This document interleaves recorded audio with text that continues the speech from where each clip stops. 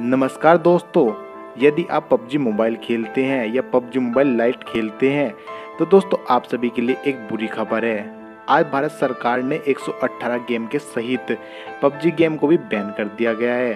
PUBG mobile व PUBG lite दोनों को बैन कर दिया गया है। Popular mobile game app PUBG समेत 118 ऐप को बैन कर दिया गया है।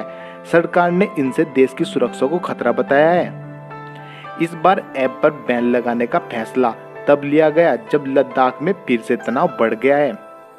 दोस्तों, पबजी समेत 118 ऐप को बैन करते हुए भारत सरकार ने कहा है कि इन ऐप से भारत की सुरक्षा व संप्रभुता को खतरा है। गलवान में भारत चीन सैनिकों की झड़प के बाद ही पहली बार सरकार ने उनसठ ऐप को बैन किया था। दोस्तों, इस बार भी सरकार ने यह कदम तब उठाया है जब लद्दाख में तनाव बढ़ रहा है और चीनी सैनिकों ने दो बार घुसपैठ की कोशिश की है। दोस्तों, आप सभी को क्या लगता है? क्या पबजी गेम से बैन हटेगा? हमें कमेंट कर कर ज़रूर बताएँ। और दोस्तों, अगर आपको छोटी जानकारी अच्छी लगी हो तो इस वीडियो को लाइक व इस तरह की और भी वीडियो देखने के लिए हमारे चैनल को सब्सक्राइब भी ज़रूर कर दें।